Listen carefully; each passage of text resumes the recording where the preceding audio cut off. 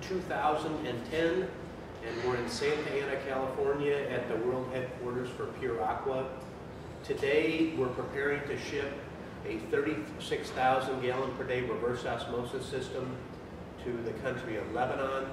The system is here behind me, and I want to mention just a few of the features and, and what we expect this system to do. Uh, again, it produces about 36,000 gallons per day from a uh, feed water of approximately 350 ppm TDS, most of which is sodium chloride.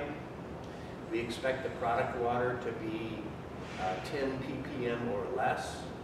And uh, in order to maximize uh, recovery on this particular system where we have six membranes, uh, six 8 inch by 40 inch membrane elements in, in series, uh, with the concentrate recycle feature on this system, we'll be able to achieve approximately 75% recovery. Uh, Again, that's from a feed water of uh, about 350 uh, ppm TDS.